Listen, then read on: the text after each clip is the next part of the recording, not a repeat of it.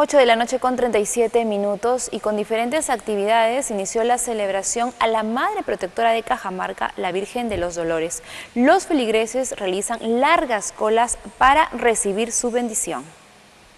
Con el desarrollo de diferentes misas ofrecidas por los devotos, se inició la celebración en honor a la Santísima Patrona de Cajamarca, la Virgen de los Dolores. Dimos inicio ayer con el acto reverencial a nuestra Madre Santísima.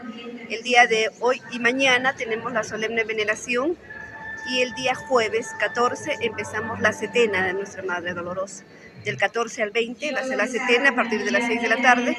El día 21 van a ser las vísperas. Eh, tenemos un festival mariano a las 5 de la tarde y a las 7 de la noche la misa de vísperas.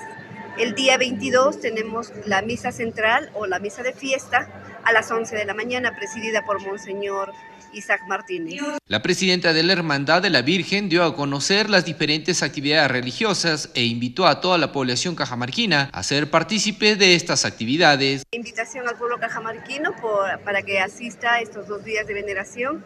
Estamos desde las 10 de la mañana hasta las 8 de la noche y concluiremos ahora, por ejemplo, con una misa ofrecida por la familia Galvez Villanueva. El día de mañana empezamos también el segundo día de veneración a las 7 de la mañana.